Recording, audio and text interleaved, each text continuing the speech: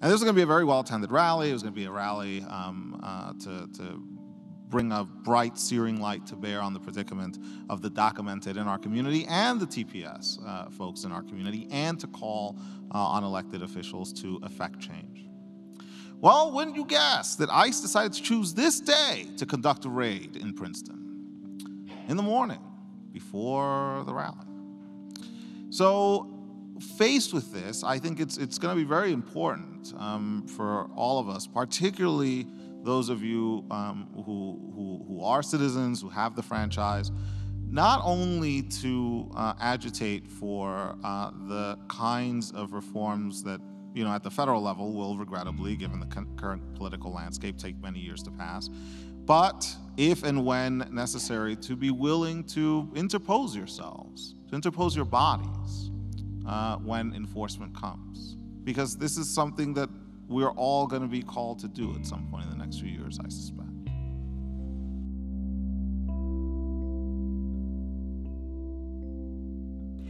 Good evening. Welcome to Cambridge Forum in Harvard Square, and thank you for joining us on this cold evening for a timely and hot topic immigration and the DACA dilemma.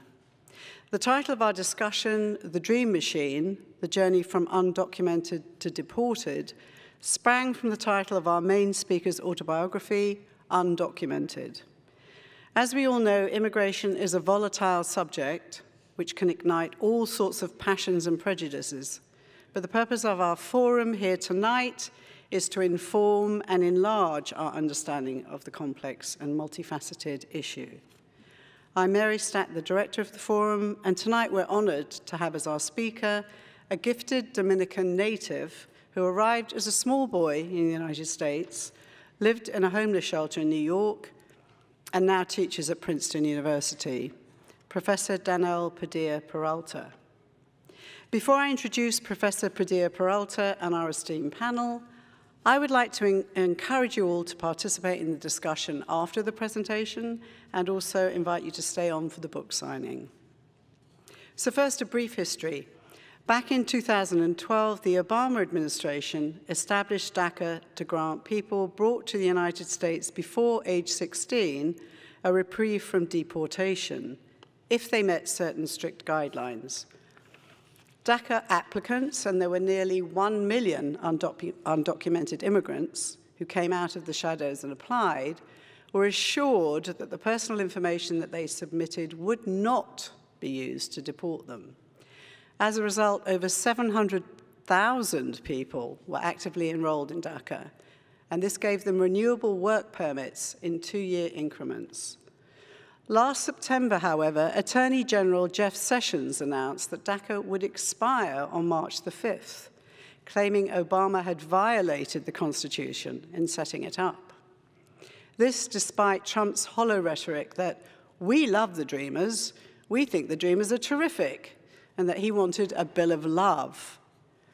Tonight, to help us digest this bill of love and understand our own moral responsibility in standing with our communities, we have the eminent academician and immigration activist, Professor Dan-El Padilla Peralta. He will tell his own story, but suffice to say that he graduated from Princeton, received his doctorates from Oxford, and his classics doctorate from Stanford. Welcome to Dan-El.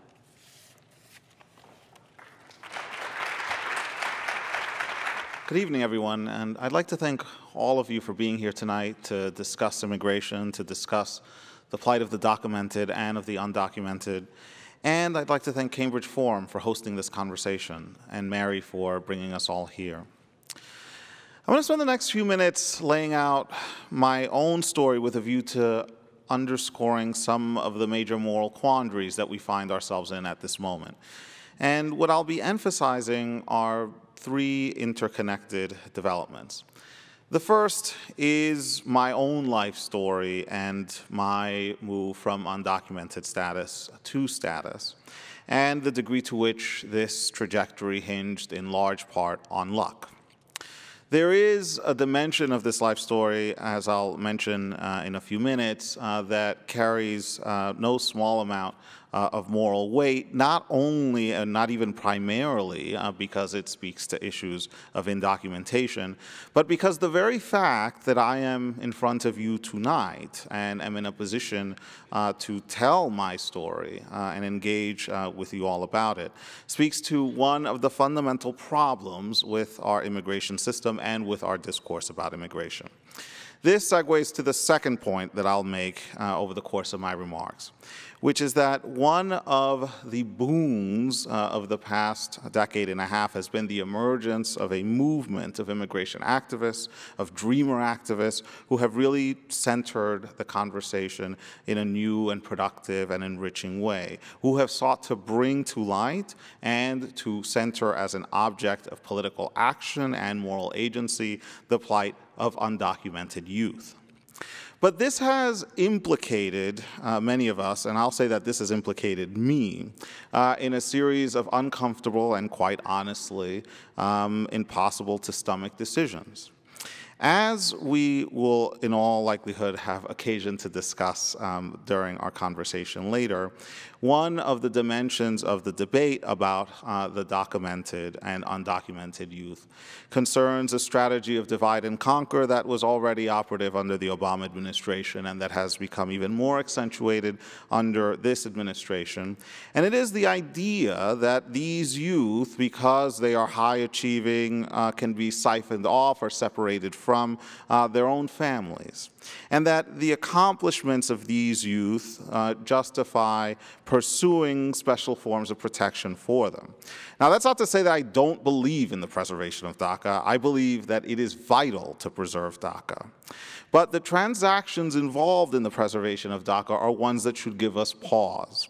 Fundamentally, what has been occurring over the past 10 or so years is that this group of activists who has been, that has been instrumental in reorienting the conversation has found itself time and time again, because of the polarization of the immigration discourse, between a rock and a hard place that forces them to choose between protections for themselves on the one hand and heightened enforcement that involves not infrequently uh, the singling out of their own relatives who do not qualify for DACA or related protections on the other.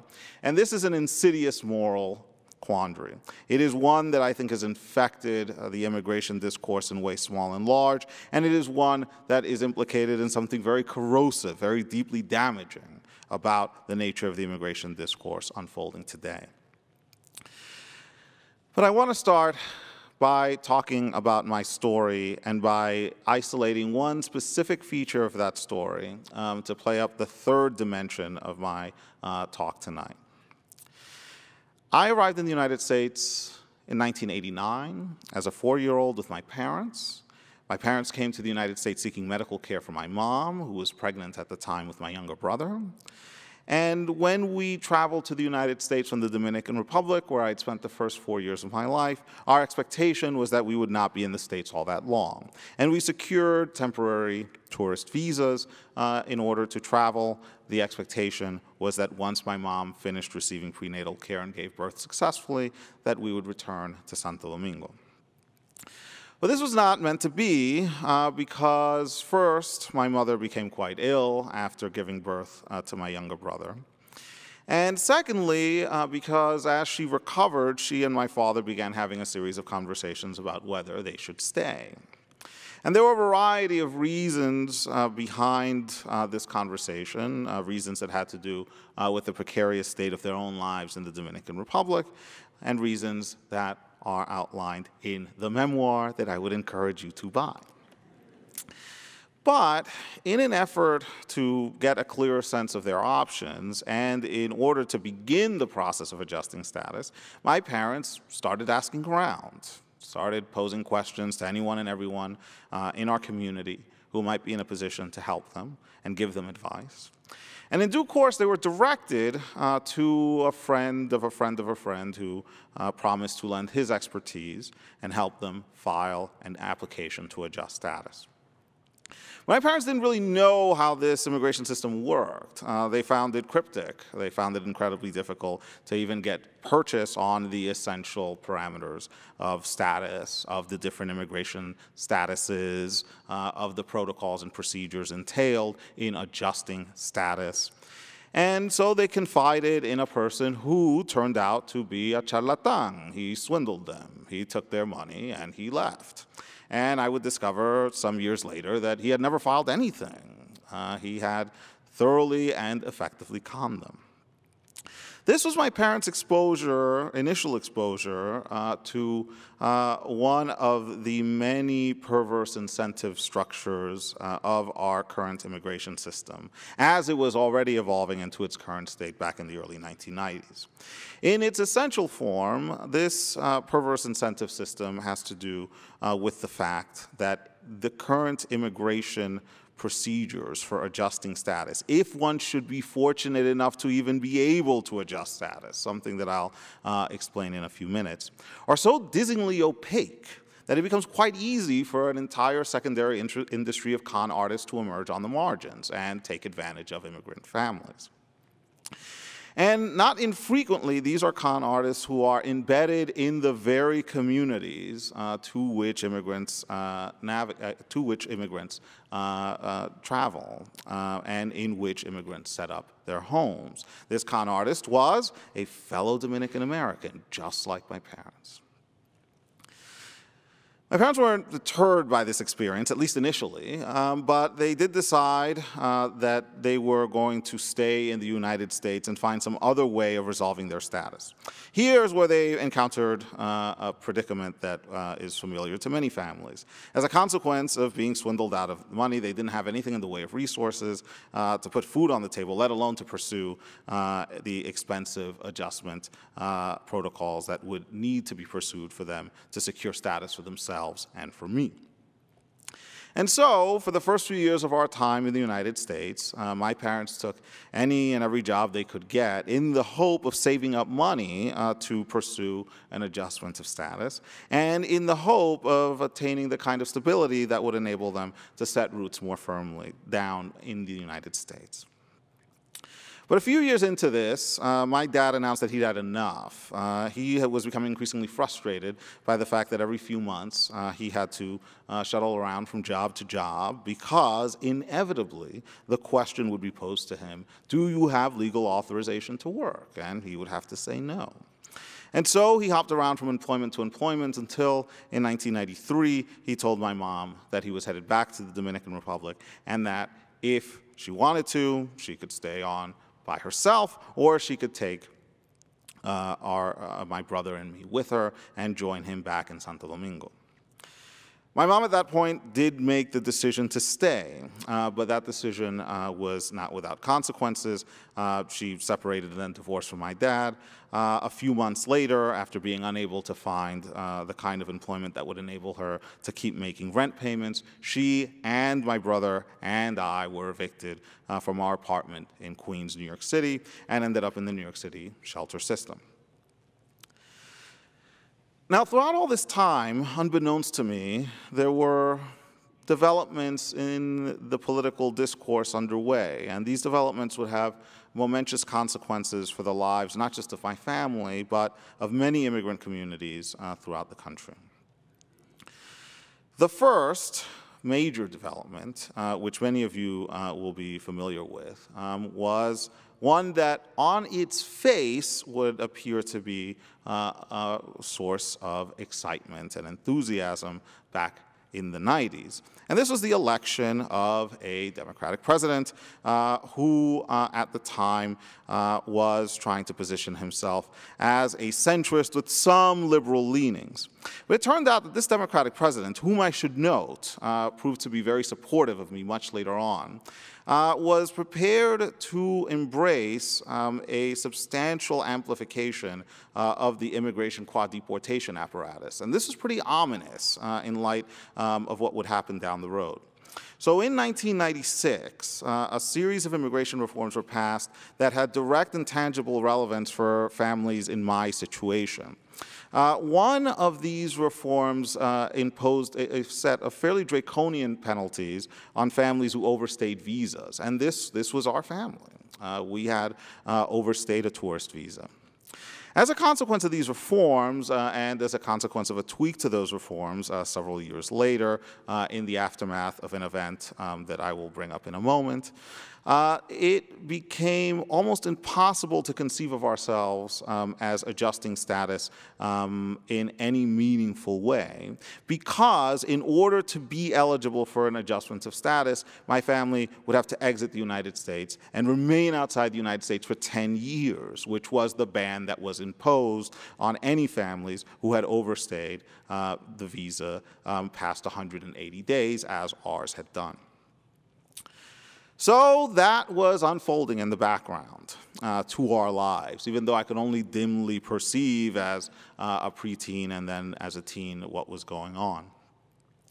More tangibly and more immediately in my life, um, there were these indications, uh, seemingly incidental at first um, and far more consequential later on, that pointed in the direction of a very turbulent adjustment uh, to uh, any sense of myself as a normal, standard fare American. Among the first of these was the disquieting realization that struck my mom and me when I was translating for my mom, uh, that uh, much of what we were able to access in order to keep ourselves afloat during the period that we were in the shelter system and in the period after we transitioned out of the shelter system rode entirely on the fact that my younger brother was a U.S. citizen. So we were able to draw and, and benefit to a degree from uh, the social safety net uh, that existed in the 1990s um, and that has since been steadily and insistently chipped away. Another development we can take up. Um, but we were only able to do so because my younger brother had US citizenship. And at the time, I counted myself fortunate to be in a position where we could get a rent subsidy that enabled us to cover the rent after we moved out of the shelter system, to receive public assistance um, for the food that we had to purchase. But later down the road, uh, this became one of those many moments where I was faced with an opportunity to re-examine what it meant to have the kind of hybrid split identity uh, that I came to see myself as owning and having. Because in the end, what I was being taught over the course of the mid and late 90s, what I was being conditioned to recognize as fundamental to my existence as an immigrant in this country, was that I had, at best, at best, a second class citizenship and that that citizenship um, was one that did not come with any of the emoluments of actual legal status. We did not have papeles at that time. It came only by virtue of the fact that we had in our family a U.S. citizen who was able to open some doors for us at some points in time. After we transitioned out of the shelter system, uh, I entered public school for fifth and sixth grades in central Harlem in New York, and as a consequence of the intervention of a mentor uh, who uh, entered my life uh, and my family's life while we were in the shelter system and who remained in close contact with us after, I was lucky to be admitted to a private school on Manhattan's Upper West Side where I attended from the 7th to the 12th grade. As the 1990s gave way to the early aughts, and as I made my way through high school, I began to discern in the news coverage uh, on my mom's favorite channels, Univision and Telemundo, that there was something afoot, and that something was very ominous. It was the amplification of the immigration apparatus and concomitantly uh, the theatricalization of deportation as a tool uh, for rendering explicit the state's violence in immigrant communities. Now, I knew this kind of state-sanctioned uh, violence uh, in a different context. We had grown up, my brother and I and my mom, in neighborhoods um, that featured a very, hot, very heavy police presence, and I was accustomed to seeing police all over the place.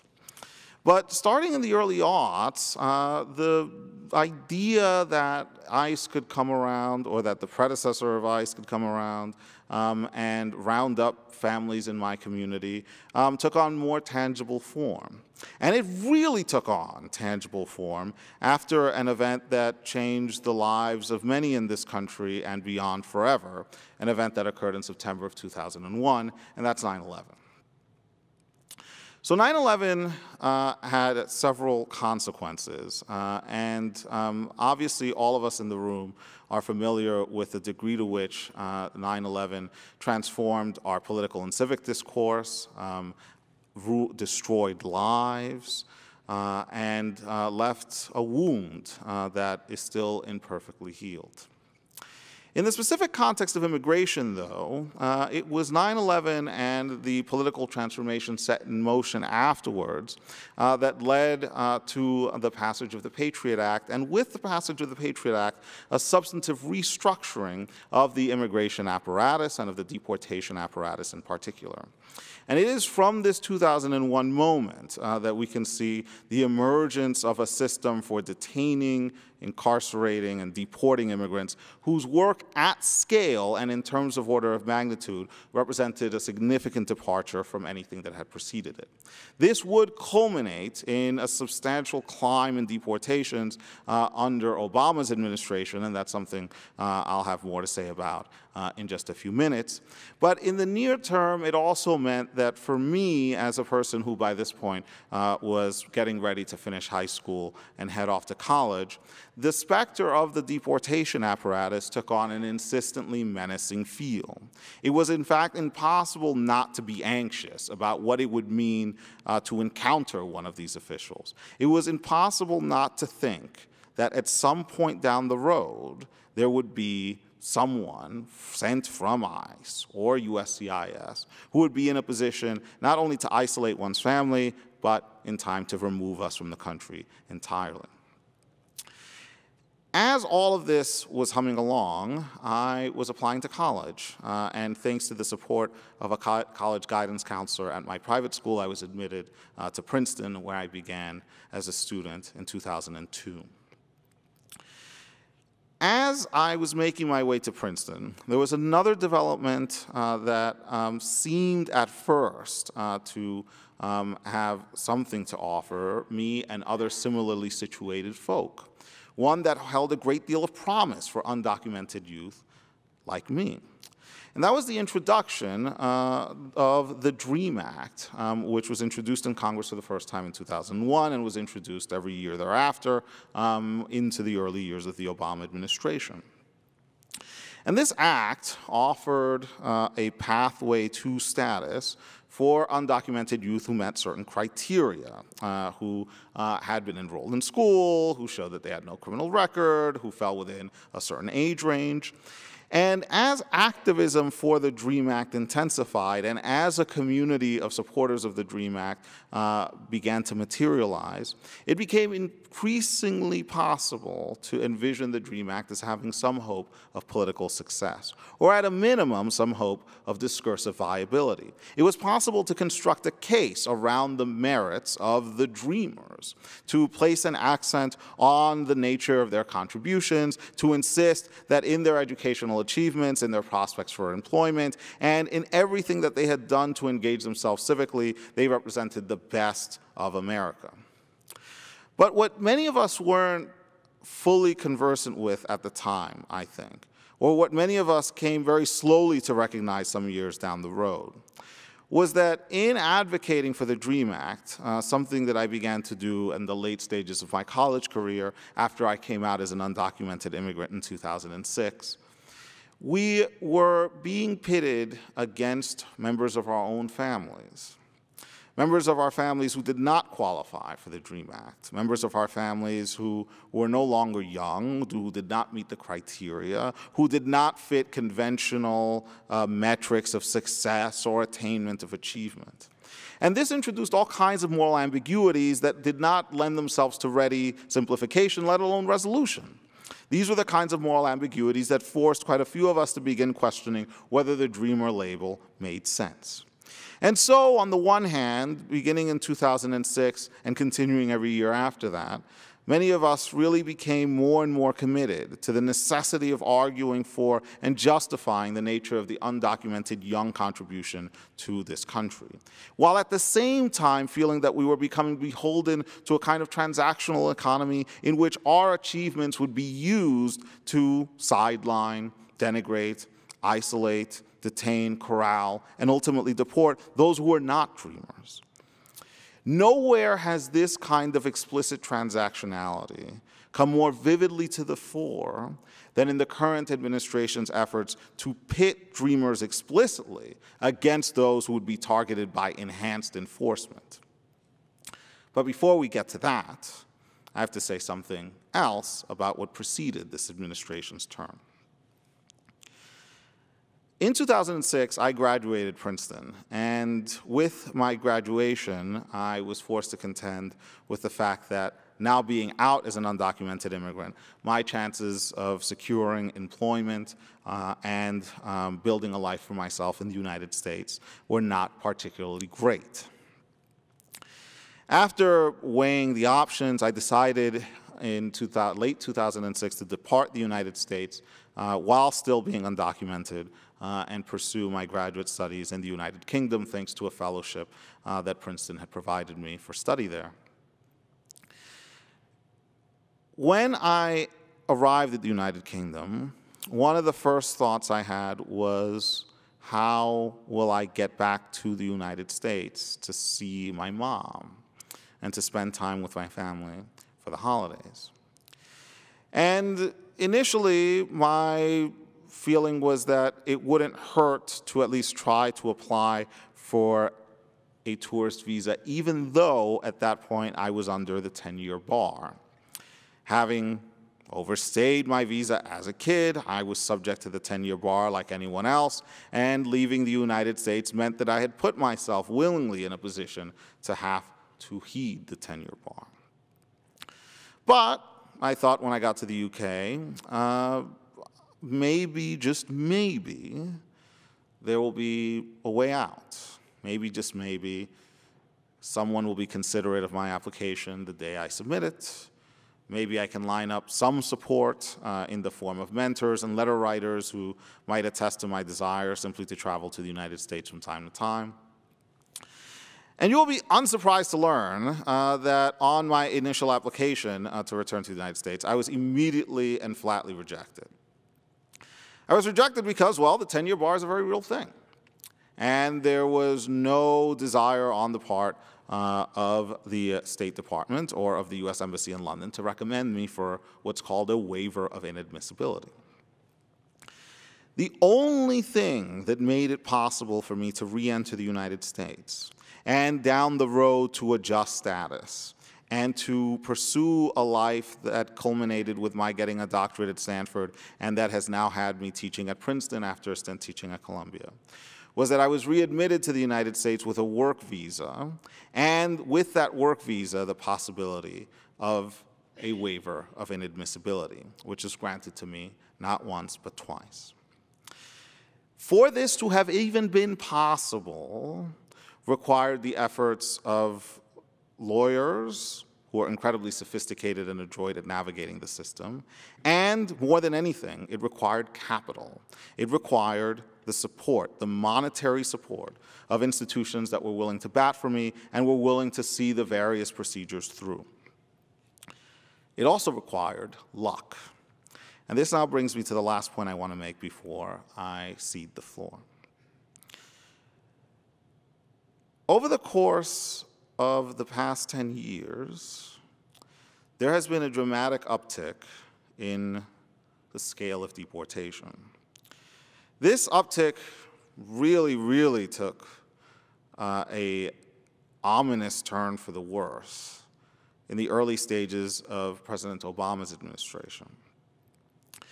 The idea behind uh, increased enforcement uh, in the early years of Obama's administration was that with a record of stringent enforcement to hand, President Obama could then turn to Republicans who were calling for increased enforcement and attempt to broker some kind of bipartisan deal that would feature relief for undocumented youth and at the same time some measure of increased uh, enforcement that would be uh, that would be authorized through greater funding allocations, and that would also um, involve uh, the strengthening of USCIS through more hires. For some, this kind of deal represented a viable, effective compromise that would provide some guarantees to the undocumented, or at least a class of undocumented, and that at the same time would cater to the demands of some Republicans for greater enforcement. Well, guess what? People got deported, and there were Republicans who didn't want to play ball. So in the end, hundreds of thousands of people got deported from 2009 to 2012. Uh, ultimately, the Obama administration was responsible for the deportation of over 2 million people.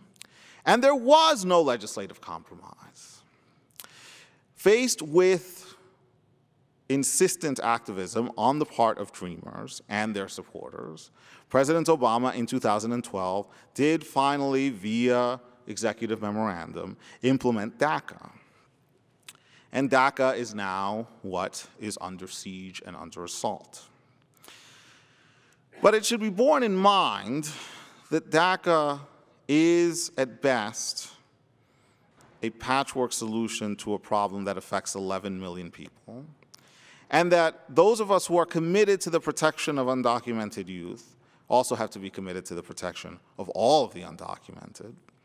And that furthermore, we are in a position where the call to become responsible and engaged citizens will, I think, entail a revolutionary politics when it comes to immigration rights.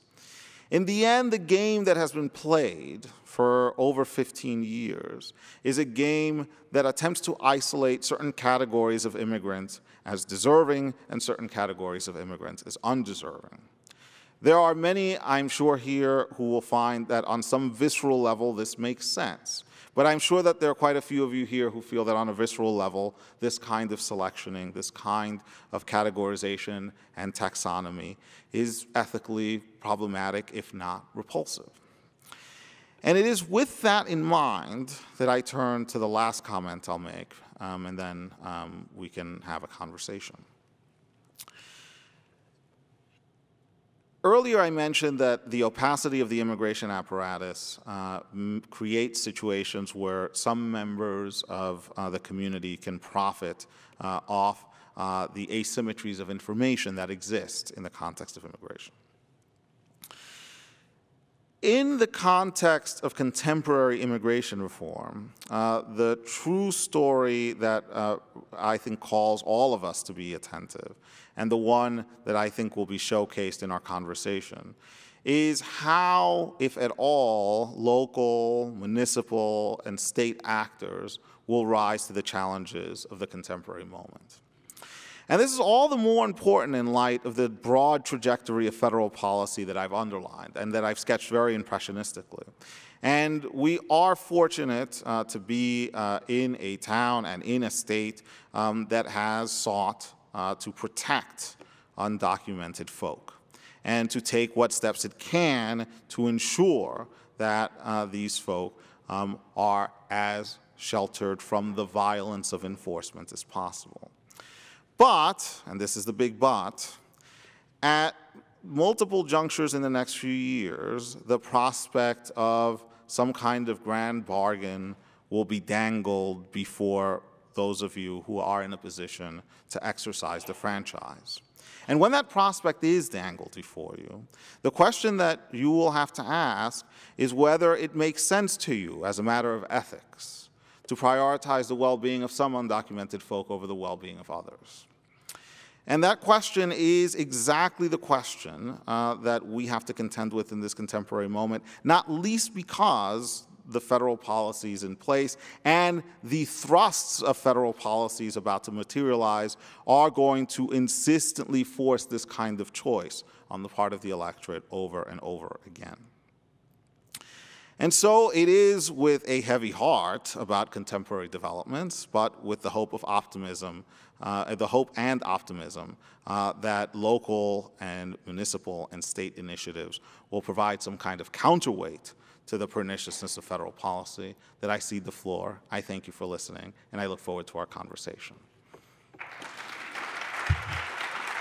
Sitting next to Dan-El is Irene Friedel, and she's an attorney with 25 years of experience who gave up a very successful law practice to work pro bono for the PAIR project. She uh, specializes in providing representation to immigrants in detention. So, welcome, Irene. Sitting next to Irene, we actually have two individuals, both from the city of Cambridge. Manny Lusardi is the newly appointed immigration liaison to the Mayor of Cambridge, Mark McGovern. And this very week, uh, Mark McGovern set up the Cambridge Legal Defence Fund in conjunction with our fourth guest, Geeta Pradhan. She's the president of the Cambridge Community Foundation. So I'd like to welcome you all. Um, thank you for making the time to be here. Um, First of all, um, Manny, let's start with you. Um, why should we care about this uh, DACA decision and why have you become so involved with it yourself? Sure. Thank you. First of all, Mayor McGovern and I uh, would like to thank the Cambridge Forum for inviting us uh, to show and, and, present what the City of Cambridge, uh, the Mayor's Office is working on to help protect vulnerable immigrants. DACA, or Deferred Action for Childhood Arrivals, is important to me because it, it hit home uh, not only DACA, but uh, the, the war on immigrants in general, uh, especially the TPS recipients or temporary protected status. I'm a first generation American, and my father came to this country during the First World War. And if you're trying to do the math, uh, my father was nearly 60 years old when I was born. Um, during when I was growing up, my father would tell me constantly about the stories of the xenophobia, hate, and bigotry that he dealt with in the 1920s and 30s. And if you take the uh, countries and the uh, change the country's names and the faiths they belong, the same language that was used 100 years ago is being used today. It's very different. And granted, it is at a hyper level currently, but there is no difference. And the reason for that is it's pretty simple. I'm a simple guy. I, I tend to look at things pretty simply. Um, but it's pretty much because they are generally poor. Immigrants who come here are generally poor, and they can't vote, meaning they have no power. So the uh, city, the mayor's office, and myself, um, Mark McGovern, uh, we about a, year or two ago, we started talking about how we can change uh, certain local policy, or what, what I call making uh, immigration local. A lot of people, especially legislators, concentrate on the federal uh, immigration laws and say that there's not much we can do. I so disagree with that. The Legal Defense Fund that was um, started this past Monday with, in collaboration with the Cambridge Foundation is an example of that. I could have started uh, a, a nonprofit, 501c or, or whatever, and raise the money to create my own legal defense fund. But it's important that we show immigrants, cities, all cities, that they can trust us that they can come to us and tell us about any crimes that are being committed against them, especially women. There, there, uh, there are women in this very city that are just a few blocks here, from here that are in protection because they were being trafficked. Um, that is not um, foreign to Cambridge. So working with trusted uh, collaborators like the Cambridge Foundation is important. But to me, DACA, it just represents uh, the kids that are just looking, or the young people that are looking just for opportunity, just like I did growing up in a, a very poor immigrant family, I had to start working at a very early age. And my father was telling me those stories, and I wanted to support my family. So I, again, I started working, and I would go to high school and middle school maybe one day a month. I ended up graduating high school illiterate. I couldn't read or write. I remember looking at the superintendent who handed me my diploma, and I looked at him on stage and said, I can't read this a teacher who was retiring the same year I graduated helped me that summer to learn how to read or write so I can go to college that, that fall with the other kids and graduated eventually with a 396 grade point average. And yes, I'm very proud of that. But it was just the same thing that's happening now. These kids just want opportunities. Same with, with the, the people that are here under temporary protected status or any other immigrant situation, just like our parents did. Thank you. Um, Geeta, why did you get involved with this? Why did the Cambridge Foundation support this? So first of all, um, thank you, Mary, for inviting us to be a part of this. And um, thank you, Daniel, for your story. I would say that I think for every one of us, every, I, I would say anyone who's not Native American is an immigrant in this country.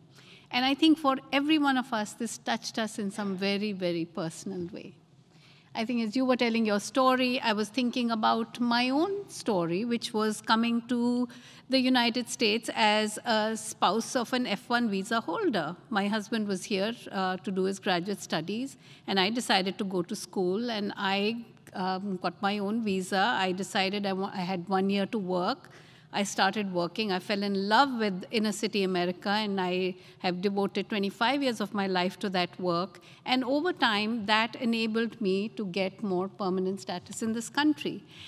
And so it is about the issue of opportunity, and it is about the issue of choice. And I have to say that in my, uh, uh, when I look back at my life, I didn't come here to stay here. I ended up staying here. And I remember having a conversation with my children when my older son was 13 and my younger son was seven to say, We are going back to India. And my kids said, What do you mean going back to India? This is home. And when I look at DACA recipients, you know, the, the, the, um, that's exactly what it is for them. This is the only home they have ever known. This was the only home my children ever knew. In India, they were foreigners. They, they, they did not fit in. They did not, they weren't comfortable with the language the culture, the environment, everything for them was home. And we decided to stay. And I think many families make those decisions, you know, because of the future of their children or because uh, of where they are. So that was from a very personal level. I think this uh, issue has touched me uh, because I feel that all of us came here as immigrants. In fact, the ancestors of some of us who came here very early actually were undocumented illegal immigrants. They did not have rights in this country. They made rights for themselves. They, made, they created conditions and made themselves legal. So I think it is, it, there's, a, uh, there's an issue of justice for me. In, from, so that's, then when it comes to the Cambridge Community Foundation and why we chose to partner with the Mayor's Office for the uh, Cambridge Legal Defense Fund, which by the way, there are some um, little handouts at the back get those, pass those around, because I think it is really important for all of us to make a statement to show our support for this issue. Uh, the reason the foundation got involved with this is we were created 100 years ago to look out for the well-being of the city and to sort of give voice to the values that the city was about, which were issues of, uh, and all of you as Cantabrigians know that, issues of inclusion, of diversity, of compassion, of being a welcoming community are fundamental to Cambridge. It's a place that, you know, of, of ideas, and, and, and that's what ideas, you know, those things that foster those kinds of ideas we were also, um, uh, you know, we, uh, we are also an organization that is created to support issues of social equity, um, justice, fairness, and shared prosperity.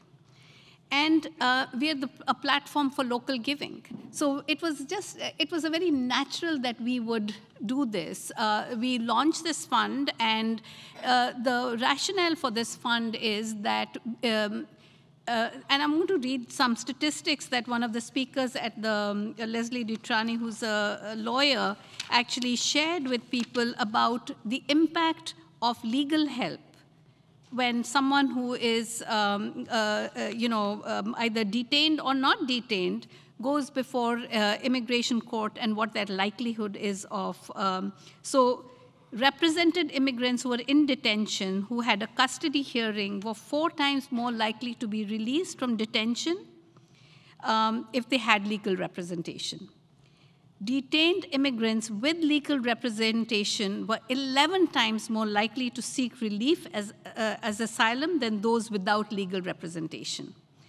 Um, among detained immigrants, those with rep representation were twice as likely as unrepresented immigrants to obtain immigration relief if they sought it. And for those who were never detained, they were five times more likely to seek relief if they had an attorney. And represented immigrants who were never detained were five times more likely than their underrepresented counterparts to obtain relief. So there's enough evidence that shows that when people go with representation, they have a much greater likelihood of getting relief.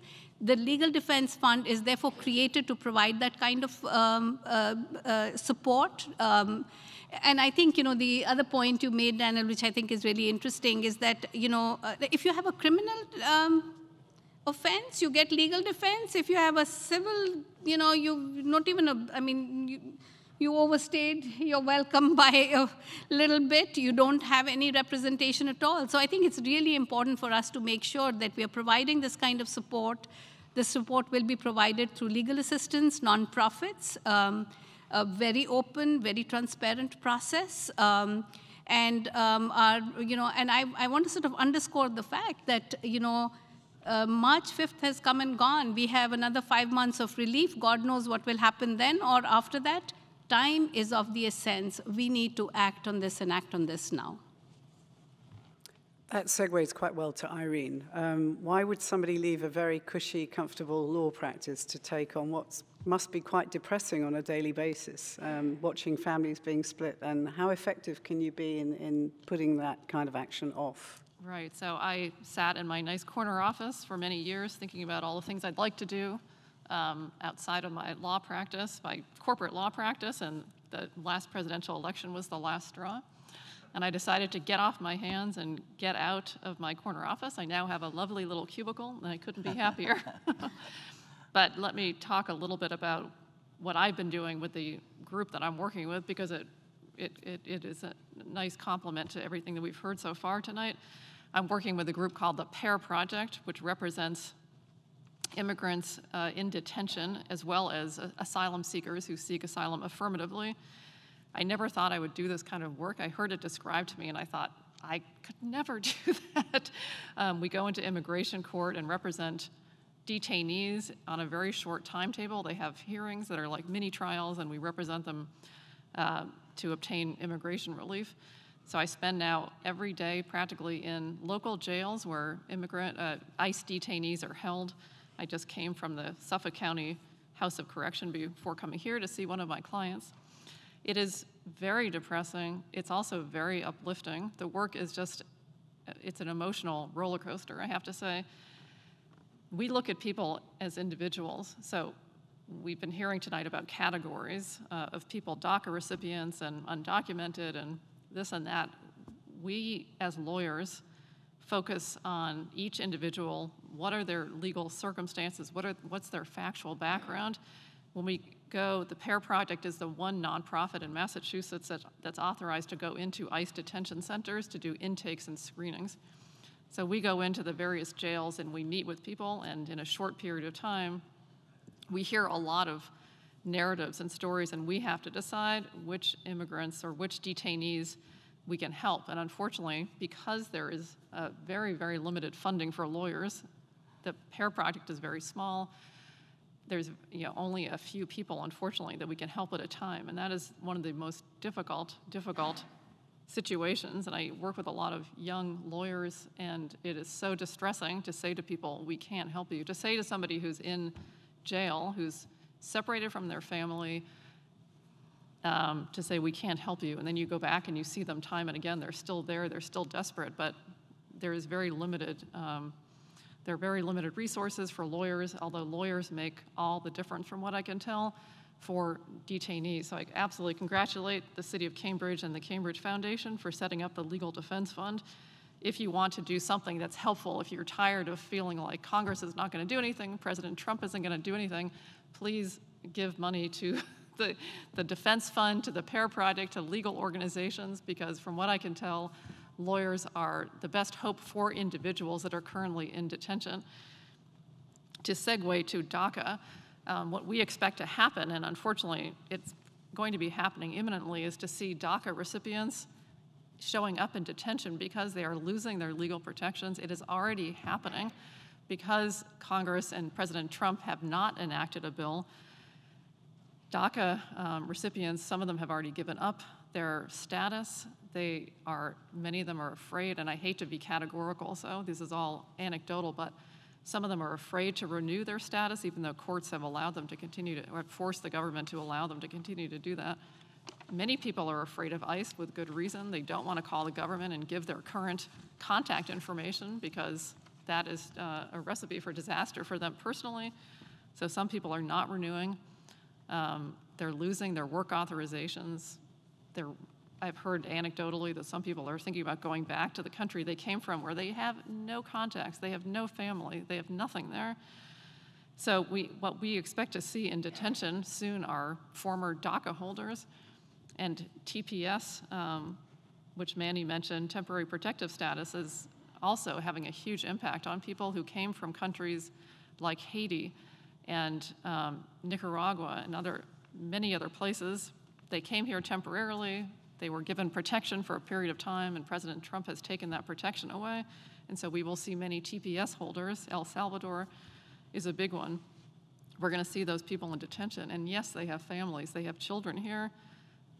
But uh, unless they have some real form of immigration relief, which unfortunately is not at all a guarantee, many, many people are going to be deported, have already been deported to countries where they have absolutely no contacts and no families while their children are growing up here. So it's very difficult. It is depressing. However, I don't want to leave you on a on that note. I want to um, not. I want you all to be inspired to give money to lawyers, but let me tell you that there are success stories. So I have I have also in this work I've been so depressed at times, but I've also been incredibly uplifted. We have a bell at the PAIR project that gets rung when there's a successful outcome on a case, and I'm happy to say the PAIR has a very good tr track record of success, and I have heard the bell uh, be rung. I rung it myself when we meet individuals, we do meet people that have really strong asylum cases and, and other forms of relief. And the lawyers at the group, and there are many pro bono lawyers throughout Boston um, and in Cambridge and other parts of this, this area that are working hard for immigrants and are succeeding. So we've had successes. It's not, not every story is a, a dismal one. And I could go on and on and on with endless anecdotes of what I've experienced since I've started doing this work, but I'll, I'll leave it at that. Before we open this up to the floor, which I'd like people to come up and feel free to start addressing the panel with their questions, um, I wanted to ask you about the national view of this. How is this going to play out with sanctuary cities and, for example, the state of California um, in terms of funding cuts now, stopping these governments from enacting their own views, their own democratic views about employing these things. Is there, is, Dano, can you address that? Perhaps? Well, locally, uh, here in Cambridge, it's Manny Lasardi from Liaison of Immigrant Affairs in the uh, Mayor's Office of Cambridge. Uh, there's been threats to erase, uh, arrest uh, local elected officials and people like me. I welcome it. Um, I hope they come and get me because that'll bring attention to the issue and to put somebody like me on the front page, I would be thrilled to be arrested. But uh, locally, there have been threats, but thankfully, Cambridge is a wealthy city. Our city manager, Louis DePasquale, and the mayor, Mark McGovern, have determined that if funds were pulled, uh, even though he, Trump has to go, Mr. Trump has to go through Congress to do that, it would be about approximately $12 million. And we are very fortunate we can afford to replace that. That, that has been looked into. So it would not affect uh, so much. It wouldn't be a fun thing, but it would not affect uh, Cambridge that much. Uh, and most of the um, federal funding that would be pulled goes to the police department. So he, it's, it would be basically illegal, but as we all know, that's, that's something that doesn't stop Mr. Trump. Um, but in cities like New Bedford, uh, Lowell, where they are poor communities, uh, it would be, those cuts would be very drastic. But uh, we welcome, I would welcome any personal attacks from Mr. Trump. What you've just heard is uh, the kind of official of which we need many more, um, because the reckoning that, that has already been taking place, that will transpire in the near term, uh, is not uh, one uh, that uh, will, at first blush, give us much reason for optimism. The administration has been very clear that it will target communities uh, that attempt to enact some measure of sanctuary protection. And if you look at some of the materials that have been put out by ICE over uh, the past several months, the language becomes ever more strident um, about this. So, in their end of year report, um, ICE, after enumerating the statistics of uh, non criminal immigrant arrests and at large administrative arrests, uh, ICE bragged, quote, The total number of at large arrests increased after the executive order um, from early last year was issued, particularly in those areas that do not honor ICE detainers or limit or restrict ICE's access to their jail population, end quote. Uh, the, the theatrics of ICE enforcement um, in, in this context entail not only sort of singling out communities that uh, have elected leaders and, and have folks working um, in uh, high level municipal capacities, um, such as Manny.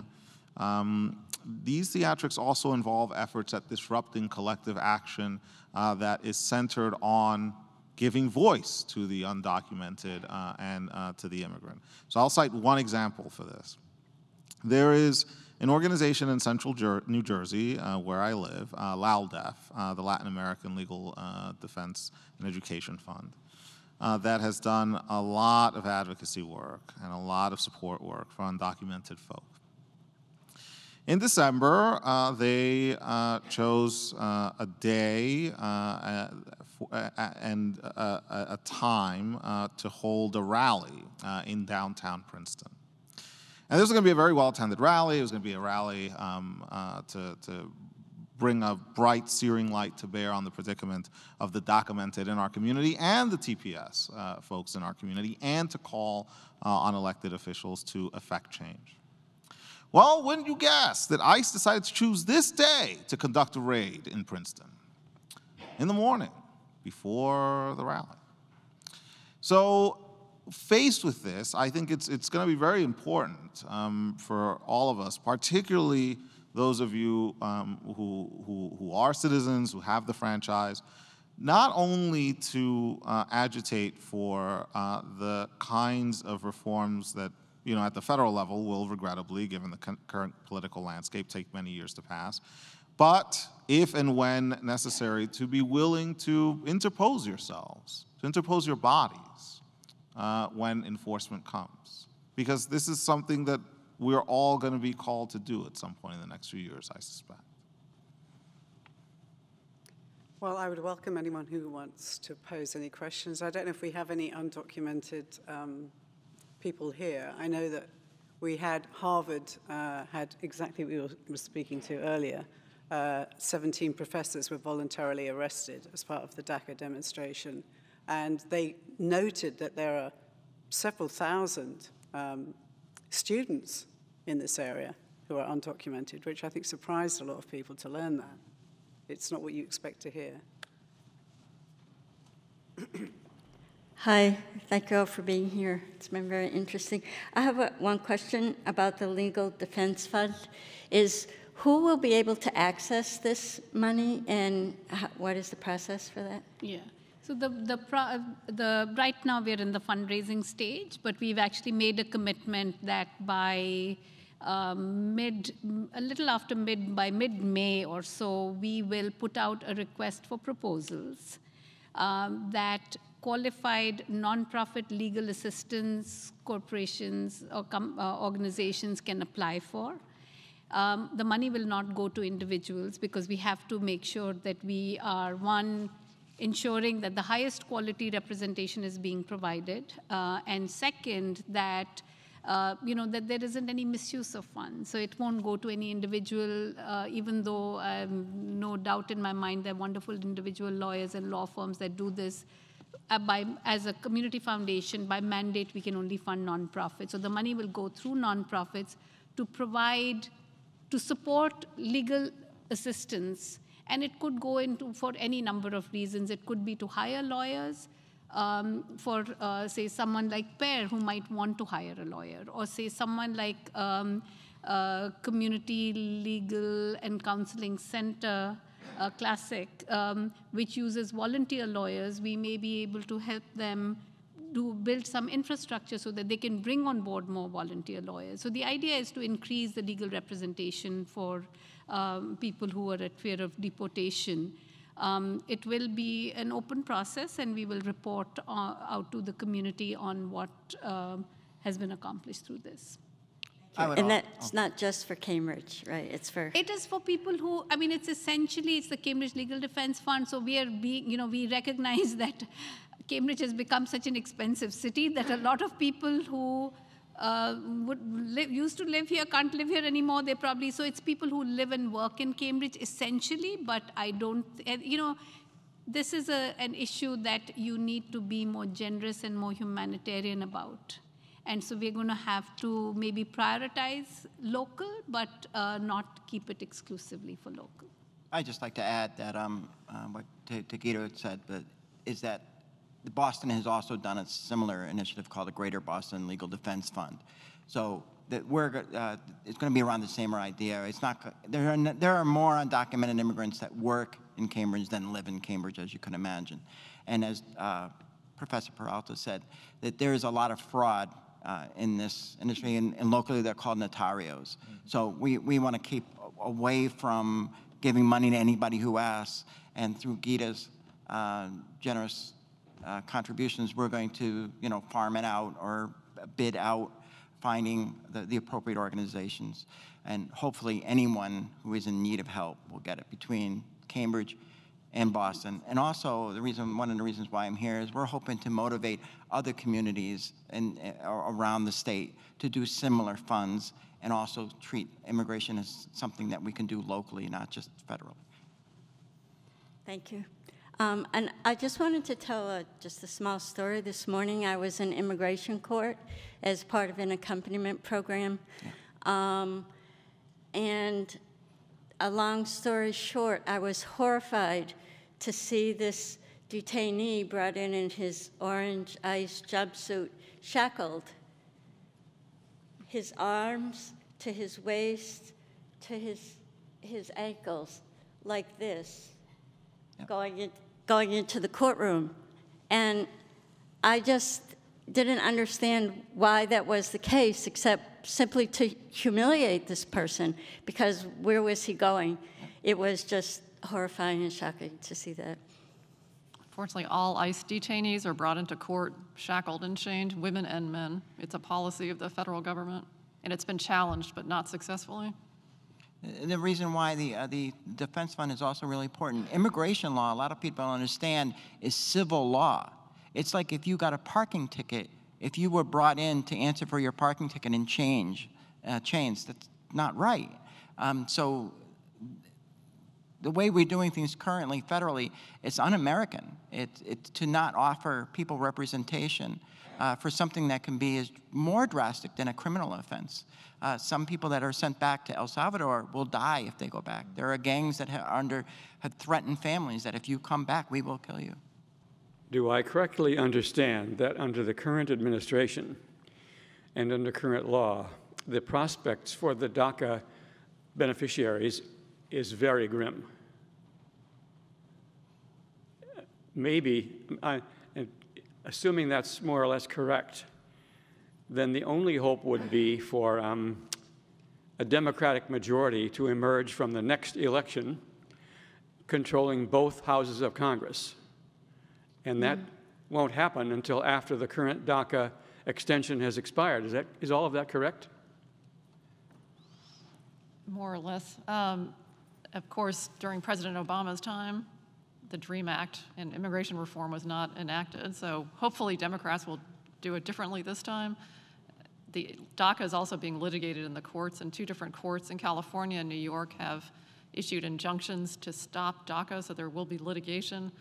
Um, hopefully that the, the, the, injunctions will become permanent, short of uh, something happening in Congress. But yes, voting is extremely important, and getting in uh, electing people that support immigration reform is hugely important.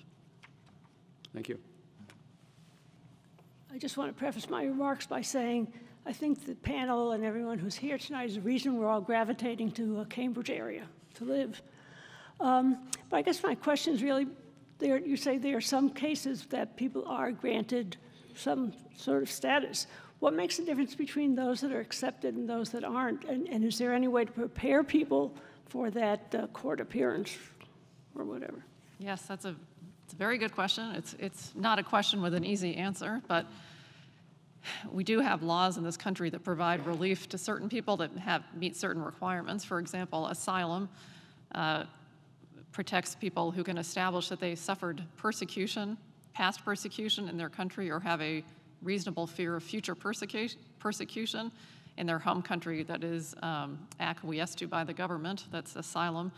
There are, there's a convention against torture that protects people who can establish that they are more likely than not to suffer torture in their home country.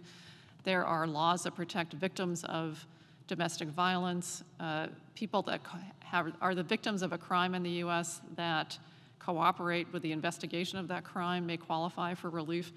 So the immigration laws are extremely complicated.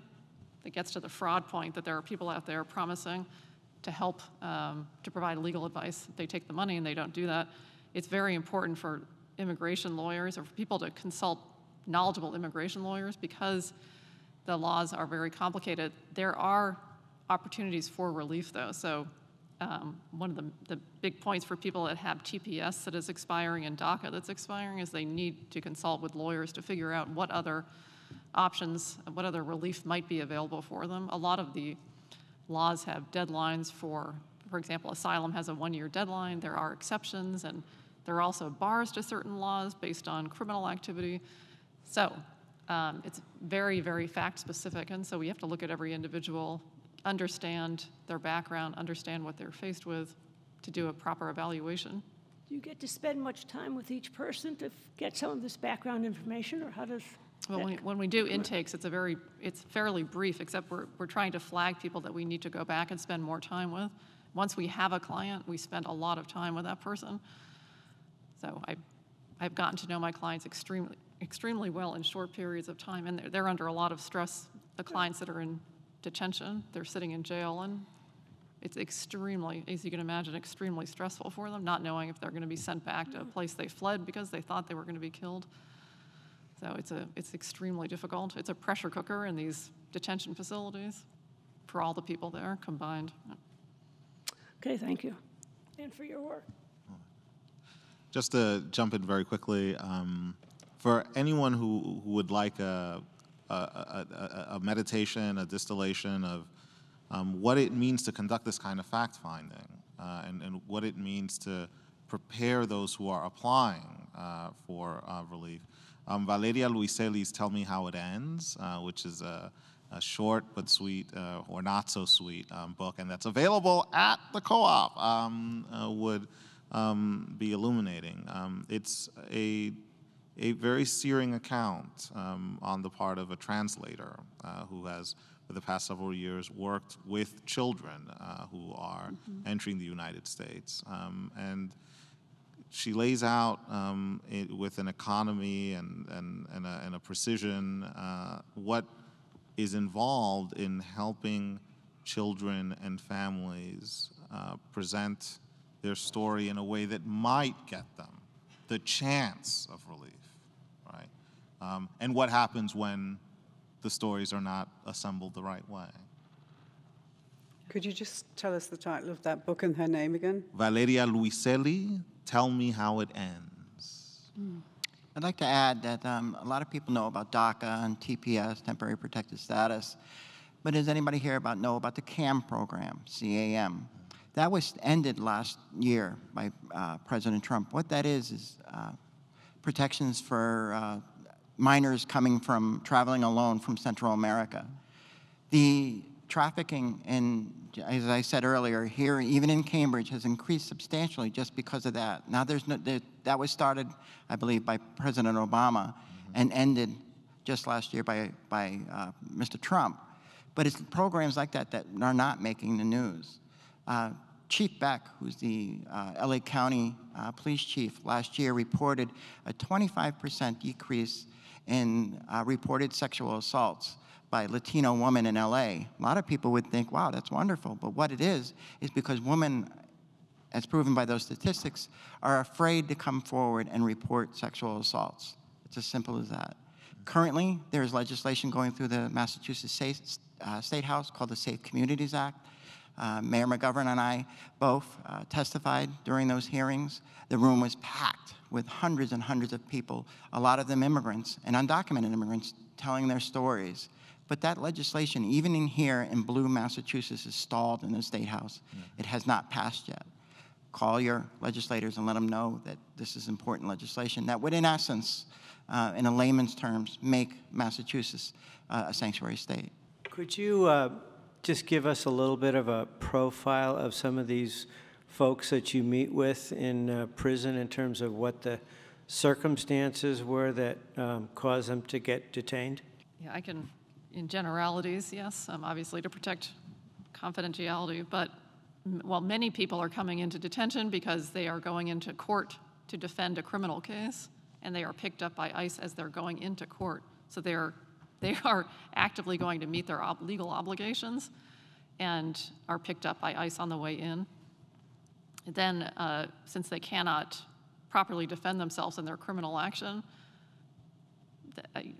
they could have a difficult or a negative outcome in the criminal case, which could then bar their ability to stay and, and get immigration relief. So that's a that's a very difficult situation. Um, we have people that are picked up. I, I've seen people in immigration court who are picked up shopping at Home Depot. I mean, I hate to say it because I don't want to. Well, this is obviously a depressing, difficult conversation, so I won't hold back on my stories. But I saw in immigration court uh, a couple who had children at home, and they were both picked up. Both parents were picked up at Home Depot because they'd been followed by ICE, because at some point in the past, the mother, maybe 10 or 20 years ago, had some small infraction that had never been resolved on her record. Both parents were picked up, all of their children were still at home. I've seen people, uh, a woman, we came across a woman in detention who was still nursing her baby. The baby was put in foster care and the mother was put in detention because she's undocumented.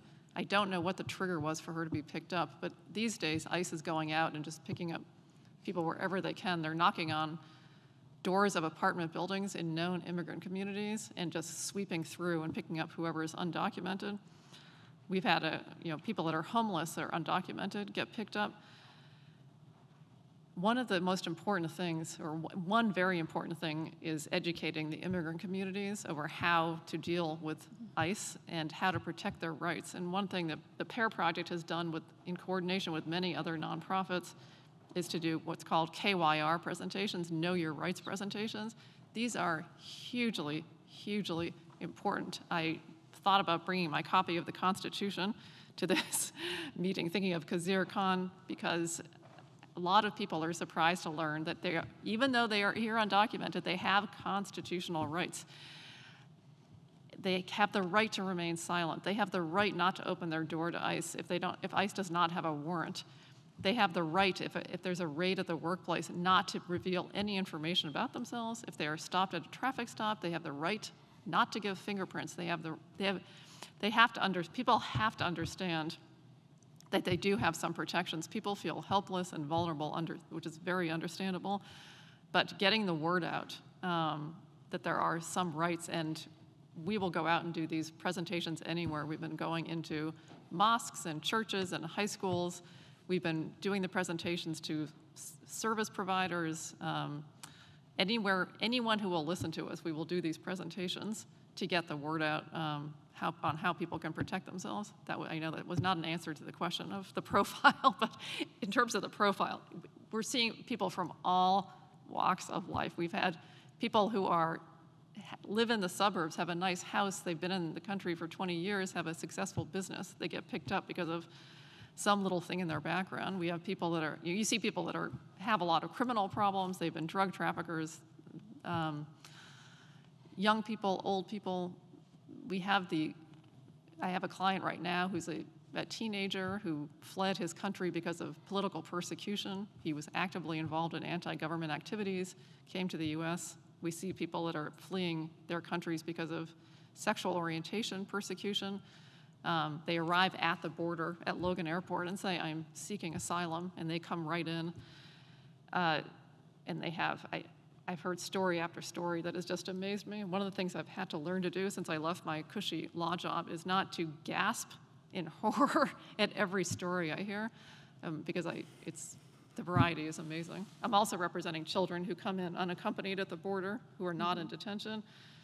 The one thing I, this is absolutely not an answer to the question, but there's a lot of discussion about building a wall, building a barrier to keep people from coming in. And what I have seen is that people are going to come to this country to save their lives, no matter what kind of barrier is built, no matter what kind of wall is built. If you're fleeing for your life, if you're a child or an adult and you believe the only way you can save your life is to get to this country, you're going to get into this country. People are, I've, I've been really impressed by the ingenuity of people getting in here. But if you ask, I, I've often asked clients, well, what have you heard about Trump? And you, you managed to get here, even though we have this current president with these policies. And they just look at me blankly. They don't, they don't care about Trump. They don't know about Trump. What they know is that if they didn't get themselves out of their home, like that day, they were going to be killed, and they had to save themselves. And so there's still, you know, America is still viewed as the place that you can come to and be protected. In some ways, that is uplifting because it, some people do get protection still. It's not, it's not that no one is getting, it's not that everybody is getting denied. We are seeing, you know, the, the laws are still being applied. There are still fair judges, and um, some people are able to get through the system with effective legal assistance. But that was a long-winded answer to it. Uh, briefly, uh, I can, uh, uh, before I give a, a situation, uh, Irene mentioned, my name is Manny Lusardi again, the, the advocates and, and um, uh, who are working immigrants, is a thing called a red card. you can get them online from the ACLU or many immigrant advocacy groups. They're free.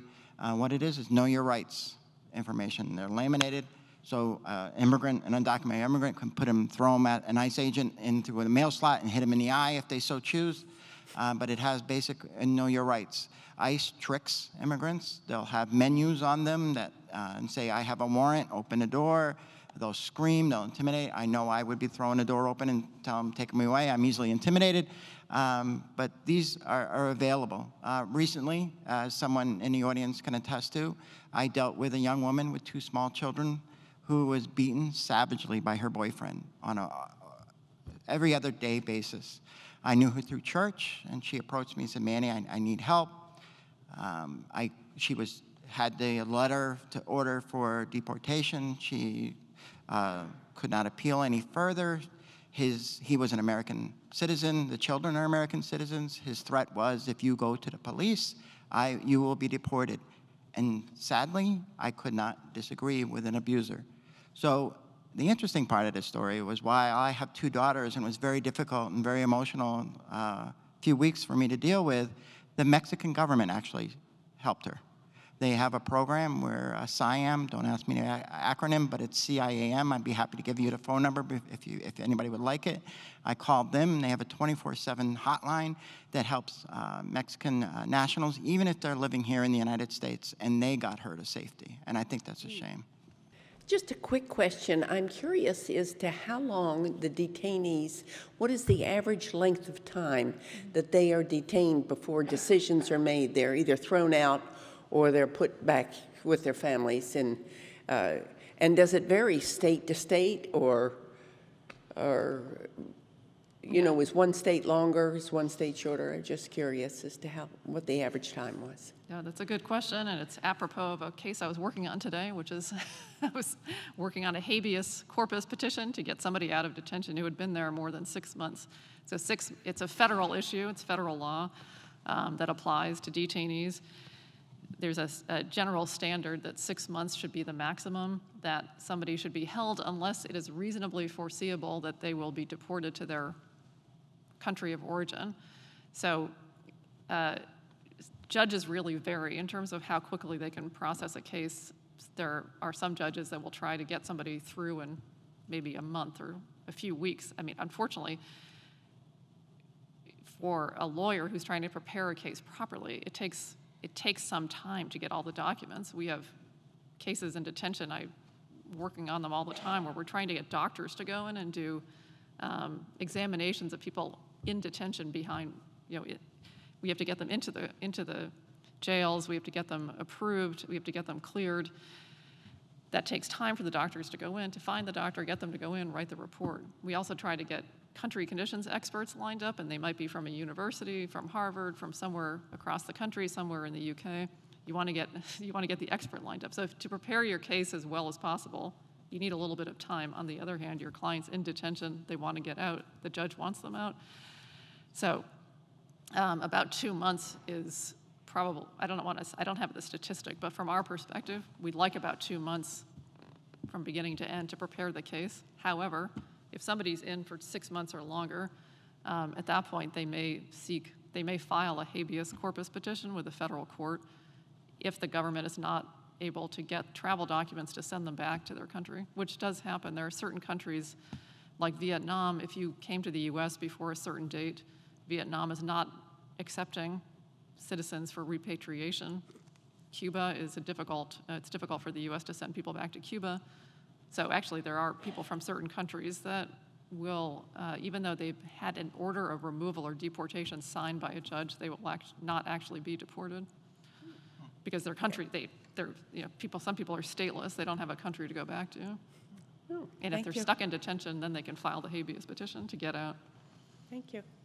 Thank you so much. Uh, I thank you for being here today because this is very, very nice, uh, an important program uh, out here. I am lucky enough to be uh, extremely vetted before, before I get here. So I am a citizen, uh, but my heart goes out to those people who are uh, facing immigration problem. And, uh, and the first point, you know, one of, by, by the way, thank you so much for your uh, wonderful and inspiring story. Uh, but one of the questions is, you know, I have like, some opinions and some questions. A lot of Americans don't know why people come to the United States in the first place.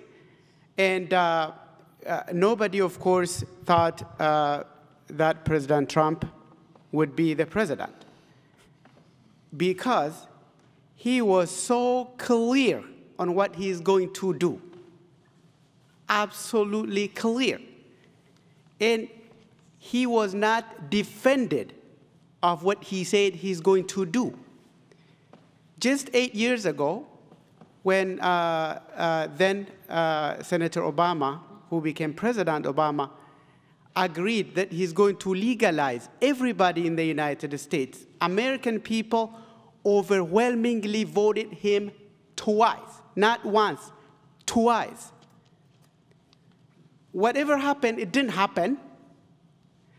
And President Trump proposed absolutely opposite of what President Obama said, and people voted for him overwhelm- overwhelmingly. How did he win? Don't ask me that, but he's a president. Anyway, so many Americans don't know why immigrants get into this country and how. For example, I am an Oromo uh, uh, from Oromo land, current Ethiopia, where genocide is taking place. Many of you don't know this. It's the dictator government, the minority ethnic group with a small 5 million people ruling 100 million with helicopter supported genocide, killing people. I lost family members and many Oromos, now refugee, Oromo refugees around the world. Everywhere in Kenya, in Middle East, women are being raped and killed. So my question is this. Look, I am an activist, a human rights activist. We have also a well-known activist whose name is Jawar Mohammed, who is verifying every important information from uh, Oromo land, Ethiopia, on his Facebook and on Oromo Media Network. His Facebook was locked a few days ago, but uh, thanks to Harvard community, and uh, somebody uh, spoke to Facebook headquarters, and they unlocked him. What he is reporting is a dead body from back home. The government is in the verge of falling. So for some reason, his Facebook was interrupted. He couldn't able to pass information, but that was unlocked.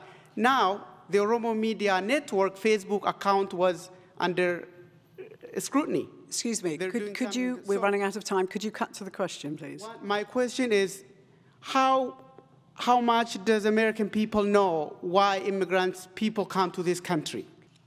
Are many reasons why people come to this country, but um, on a fundamental level, I think you are within the ballpark of plausibility to argue that there are many Americans who have a difficult time apprehending why people come to the country, what motivates them to come. And I would argue that there are a couple of interrelated reasons for this, although I would also push back against some of the sociopolitical framing of your question. But I, I mean, in the interest of not dragging uh, my response out, I'll simply focus on, on one issue. So much of the immigration discourse uh, nowadays, um, on, on both the left and the right, and I count myself as a liberal progressive who advocates from the left, um, has uh, been centered on the merits of immigrants um, and on adjudicating issues of merit. What has been minimized, I think, and what needs to be brought back to the fore is the degree to which US interventions and, in fact, geopolitical shifts and configurations are responsible for driving immigrants to the United States in the first place, and consequently create conditions of moral responsibility for those of us who are in the country. So, to look at the case of Central America for a moment, or to look at the case of the Hispanophone Caribbean, where I'm from, it's clear that the trajectory of US geopolitical interventions in these areas permanently altered the political landscapes of these different countries, created the conditions of outflow uh, and immigrant exodus that have characterized the dynamics of migration to the United States for the past several decades. And so that comes with moral responsibilities, I think, that need to be appreciated, that need to be um, uh, set to in the conversation uh, more emphatically, and yet they're minimized for a different reason, um, and this is the reason on which I'll, I'll sort of end my response to you. We were talking a, a little bit before uh, the program started tonight about the kind of amnesia that sets in after one or two generations of the migrant experience um, for, for many Americans. So, um, as Geeta pointed out, if you're not Native American, then you, you, you are an immigrant in some way, shape, or form. And yet, it becomes exceedingly easy for um, families and communities in the United States to forget not just that they hailed from immigrants, but that they were created and their identities were shaped and molded by the trajectory of immigration.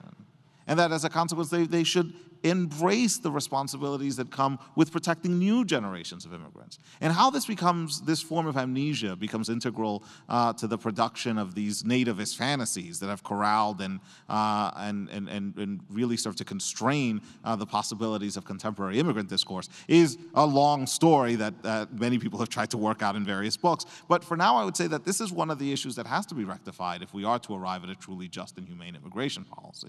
To recover for many, many Americans the memories, the dreams, the anxieties that characterized their parents, their grandparents, their great grandparents' drive to come here and the desire to create a new life that left them as the inheritors uh, and descendants of that legacy. I'm not the, the smartest guy probably in the room. I'm, I'm consider myself a street guy, and my daughters call me a corny old man. So I'm going to give them ammunition to call, continue to call me that. And it really, to me, comes down to Emma Lazarus's poem on the Statue of Liberty, and that is, uh, "Give me your tired, your poor, your huddled masses yearning to breathe free." That is no different uh, today than it was when that statue went up. Well, um, on that note, um, I think that it's true to say that the INS has changed their message, I've heard recently. Is that not true? and it does no longer say this. What, what's it now say? It's, um, uh, they removed nation of immigrants. Um, uh, the USCIS removed nation yeah, of No more. Yeah. So, but an enforcement agency. Yeah. Uh, responsible right. for enforcing right. the laws. Mm-hmm. So I have to I have to close on, on a sort of a cryptic note, which is always when people and when I think about coming to America, the first thing that happens at immigration is they say, Welcome to America. When are you leaving? Is the second question. Nearly always the second question. Um, okay, I think it's been a marvelous, marvelous evening. I'm very grateful for these wonderful speakers that we've had.